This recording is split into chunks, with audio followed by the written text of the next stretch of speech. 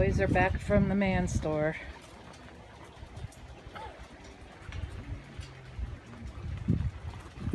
My plants died while we were gone, so the husband and the grandson went to replace them.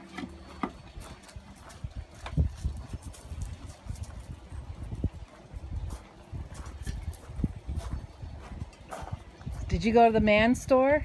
Yes, he did. Did you see any girls there? No, no girls at the man store. No girls allowed. well, hopefully oh, Okay, look. No girls allowed at the man store. my no girls allowed. We don't need no girls. oh, girls. It's Papa's No. shadow right there. No need no stinking girls. Girls just get you in trouble, huh? Hop on. The other way. Yeah. All right, get the job done.